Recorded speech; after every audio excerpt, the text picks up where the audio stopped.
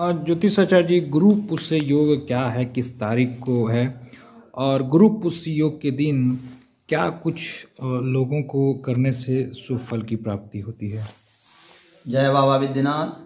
गुरु पुष्य योग जो ही यह सामने आता है। तो लगता है उस दिन तंत्र करने वाले तंत्र विद्या सीखने वाले या सिद्धि करने वाले उस दिन सिद्धि करेंगे। गुरु पुष्य जो बड़ा संयोग से होता है। गुरुवार को यदि पुष्या नक्षत्र हो जाए तो बहुत बड़ा संयोग होता है। आप कोई भी मंत्र का जाप कर रहे हैं तो जाप की जब तक सिद्धि नहीं होगी तो वह मंत्र आपका काम नहीं करेगा। इसलिए मंत्र जाप के लिए गुरु पुष्य योग 25 जनवरी को लग रहा है 25 जनवरी को आप गुरु पुष्य योग में मंत्र सिद्धि कर कर सकते हैं। यदि आपको कुछ खरीदना हो तो मुहूर्त और यात्रा देखने की आवश्यकता नहीं है। 25 जनवरी को आप आँख मूंद करके खरीदारी करें।